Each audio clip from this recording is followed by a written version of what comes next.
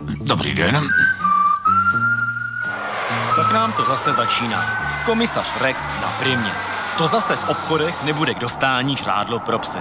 Rex vyměnil svého páníčka a po takhle horké stopě je potřeba se vydat. Nový Rexův kolega přiletí dneska do Prahy a nebude prý sám. Moc času teda nemám. To chce nějaký nápad. Třeba tohle. To je nápad. Teď budu nenápadný. Vítat svého kolegu v tomhle převleku je přece geniální. Tak, jdeme na to. Pozoru stupte jde pes, a nejen tak obyčejný pes. Jsem pan pes, ale do práce. Co o tom komisaři vlastně vím? Jmenuje se Mark Hoffman, stáří 35 let, miluje buršty z cibulí a noční život. Jsme si vlastně dost podobní. Kam pak to přiletí? Kde pak to máme? Vídeň, Vídeň. A ah, ty písmenka se pořád vrtí. A ah, Vídeň. Ježíš, on už je tady. Že on mi prochlous? No, nevadí. Vím, kam má namířeno. Takže sehnat auto a hurá za ním. To jsou oni. Taky můžete v televizi vidět v seriálu i vy.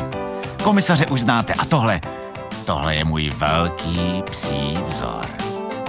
Konkurence. Ten vyčmuchá lecos. A na co nestačí se svým páníčkem, tam pomůže panička.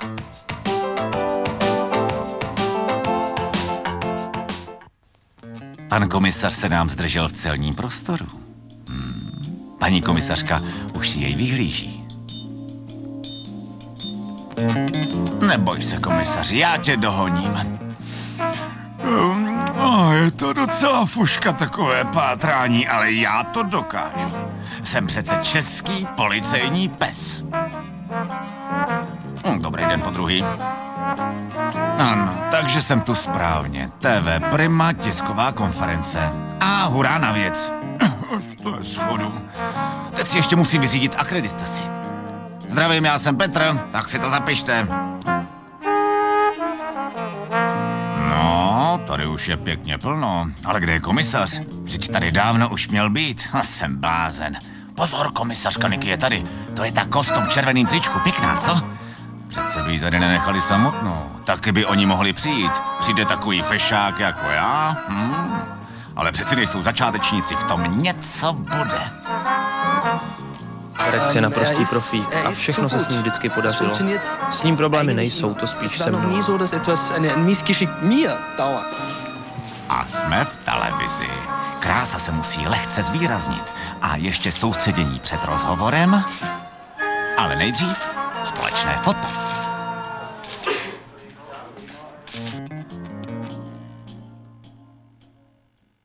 Dobrý den, guten Tag. Guten Tag. Hallo. Guten Tag. Hallo. Hallo. Čau, čau. Já bych se zeptala hned v úvodu na vaší roli komisařů. Jestli jste přijali takovouto roli poprvé, a nebo jestli již máte s rolí komisařů nějaké zkušenosti? Ich habe uh, vor ganz am Anfang von Kommissar Rex Na začátku komisaře Rexe jsem hrál zápornou postavu, byl jsem tedy na druhé straně a teď můžu tyhle ty lidi zatýkat. Ale vlastně nejsou kriminálníci a policisté tak daleko od sebe. A Elke? Já už jsem také hrála v komisaři Rexovi před rokem a půl s Gedonem Burghartem a dokonce jsem ho mohla i políbit. Jak jste se na roli v seriálu připravovali? Čtyři měsíce, skoro čtyři měsíce jsme dělali policejní školu, zásahové jednotce, zbrojní průkaz, dělali jsme bojové scény. A s výbušninami jsme pracovali. Na tom školení ve Vídni, kolik tam bylo děvčat v té vídeňské centrále policejní? U vídeňské policie pracují ženy, ale ne u zásahové jednotky. Tam jsem byla sama žena mezi mnoha muži. A Alex dodává, co se ti samozřejmě hrozně líbilo. Alexandře, vy jste v pořadí již třetím komisařem tohoto seriálu. Eh, víte, proč dochází k těmto změnám komisařů? Um, To je dobrá otázka. Myslím, nebo jak vím, já sám znám Tobiase Moretyho privátně, předchozího komisaře, a vím, že chce taky dělat nebo chtěl dělat jiné věci. In, ähm, on inscenuje operu, hraje hodně divadlo. Myslím, že po určité době prostě chce herec vyzkoušet něco jiného. U nás patří komisař Rex k těm nejsledovanějším seriálům. Jak je tomu u vás v Německu a v Rakousku, ve vašich zemích? Ja, sieht ganz gut aus. Alex říká, že to vypadá velmi dobře. Elke říká, že seriál je velmi oblíben. Bylo vaším snem zahrát si v tomto seriálu jedny vlastně teď již hlavní role? Ein Traum, auf jeden Fall. Sen, v každém případě jeden ze snů. Museli jste projít konkurzem, castingem, nebo jste byli rovnou obsazeni producenty? Um, ich wurde sofort angesprochen. Byla jsem přímo oslovena, ale musela jsem dělat casting s mnoha muži. Pořád ti muži. Kolik dílů jste už natočili v této dvojici? A jak dlouho trvá natáčení jednoho dílu? 14 sind glaube ich. 14 dílů je to, myslím. A 13 dní točíme jeden díl. Já se jmenuji Jana Čtvrtecká a v tomto seriálu dabuju postavu policistky Niky Hercogové. Mm, líbí se mi na ní spousta věcí, například, že je hodně sebevědomá, rázná, ženská, prostě a hlavně je to ženská policajtka, mm, s tím se moc často nesetkáváme, jako v takový, v takový roli, no. Já jsem Martin Sláma a dabuju komisaře Marka Hoffmana, který je šéfem oddělení vražd a zároveň pánem Rexe. Zkuste to. Chtěla bych si ho koupit. Ale jen když mi ho dáte zítra. Pokud víte, kdo je ten vrah, tak ano. Ano. Nevšiml jste si něčeho zvláštního? Pro roli psího komisaře Rexe bylo použito několik německých ovčáků. Víte, kolik jich bylo za celou dobu trvání natáčení použito?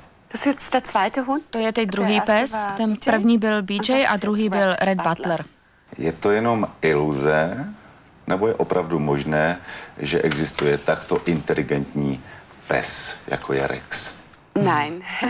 Ne, to není. Jenom děláme Hollywood. Ale, jako Ale už se tomu blíží. Rex miluje takovéto housky se salámem, takže předpokládám, že i v dalších dílech se objeví. Eh, ale ty by měly být vlastně, Alexi, vaše tyhle ty housky. Snědl jste jich eh, několik mnoho při natáčeních? Víte, kolik jich bylo? Freiwillig keine. Dobrovolně žádnou. Und, um, es, es, es hält sich in Grenzen. Es ist, Ale dá se to vydržet. A mit, äh, trošku jsme tu salámovou složku omezili. A Rex je teď trošku äh, variabilnější, co se týká jeho jídelníčku, jí pizzu, sladkosti. Mladá, krásná, perspektivní komisařka, mladý, krásný, perspektivní komisař. Můžeme se my, diváci, těšit na nějaký románek a byl ten románek pouze v rámci scénáře nebo pokračoval i po natáčení? No. Das wissen wir selber nicht. To ještě nevíme ani my sami. Das ist die Frage. To je otázka. Was, was sehr schön ist an, an der Zusammenarbeit Ale co je hezké na té spolupráci s autory a u nás dvou? Äh, sie uns beobachten, Oni nás pozorují, jak to děláme, jaký jsme. A ještě není nic pevně stanoveno, zůstává to otevřeno. Je tam prostě vývoj během práce, je tam improvizace. A to je fajn. Nemůžeme odpovědět. K tomu se přidávám. Eh, já ho hrozně ráda líbám. Těch dílů je relativně hodně, když vezmeme všechny série dohromady. Nebojíte se, že se například některé scény budou opakovat v seriálech? Um, no někdy mám takový pocit, že když najdem nějakou mrtvolu a já si natahuji ty bílé rukavice, tak si říkám, to už jsem ale někdy točila. Ja, stimmt. Aber tak to je. Ale z druhé strany, ale teď je tam nová dynamika, protože tam hraje muž a žena. A také ta třetí äh, postava, Kunce, dostane tím novou perspektivu. A tím se také něco změnilo a je tam více variability. Už nejde jenom o ten kriminální um případ, ale také o, o vztah. A to je prostor pro hraní. Ano, jdu správnou cestou. Všude tě komisaři cítím. To je ale výhoda být psem. Tvoje stop jednoduše poznám. A další zpráva. Tak ještě podpis. A je to. Je to poprvé, co jste v České republice, nebo jste tady již byli? Už jsem byla v Praze.